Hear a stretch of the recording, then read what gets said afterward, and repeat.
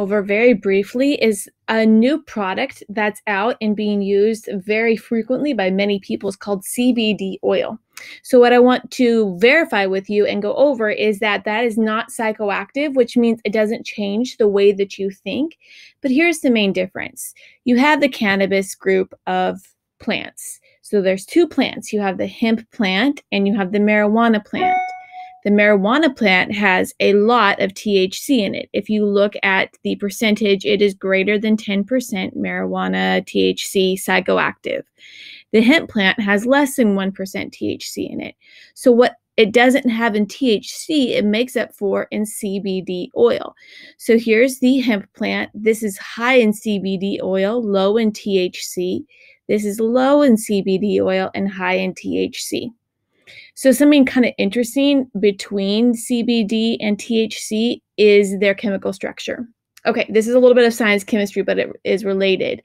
These are called isomers because they have the same atoms, but just rearranged differently. Like this one has one chlorine and it's on the first carbon, whereas this one has one chlorine and it's on the middle carbon. So they have the same molecule um, sorry, same atoms, just different configuration. Well, the same is true with CBD and THC. They are basically in the same family. They have a lot of the same features, just one doesn't make you high, and the other one, THC makes you high, but the other one does not. So here is the difference THC and CBD. You see C21, 21 carbons, 30 hydrogens, and two oxygens. So it's crazy how just the different arrangement of the atoms can lead to such a different experience inside of a user's body. So I'll finish with this informational video.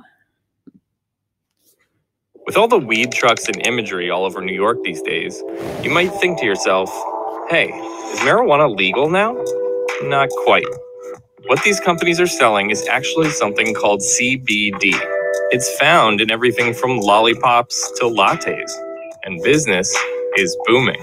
CBD products are part of what is estimated to be a roughly $1 billion industry in the United States, and it's perfectly legal. So, what does CBD have that marijuana doesn't? Fact of the matter is, we're kind of in the midst of the CBD craze right now. Martin Lee is the director of Project CBD, an educational platform that focuses on cannabis science and therapeutics. CBD stands for cannabidiol. That's a component of the cannabis plant um, that has significant therapeutic properties, but it's not intoxicating. It doesn't get you high like THC. As it happens, not all cannabis plants are created equal. Take a look at these two varieties. One is marijuana, the other is hemp. One gets you high, the other doesn't. The key difference is what's on the inside. THC and CBD are the main components of the cannabis plant. THC is what makes you feel high, and marijuana plants are loaded with it. I don't know about y'all, but I can't even move. Hemp, on the other hand, has hardly any THC at all. But what it lacks in THC, it makes up for with higher amounts of CBD. Now, CBD won't get you high, but it does have a redeeming quality. It's legal. And at least according to the marketing, it has a relaxing effect. So, since this stuff is all the rage, let's see how it's made.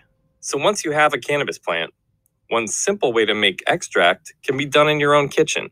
As simple as using olive oil or butter and, and, and, heating the trim from the plant or a little bit of the green material from the plant. Obviously, that's not very useful for mass industrial production to, to be uh, cooking up something in your kitchen with butter and cannabis.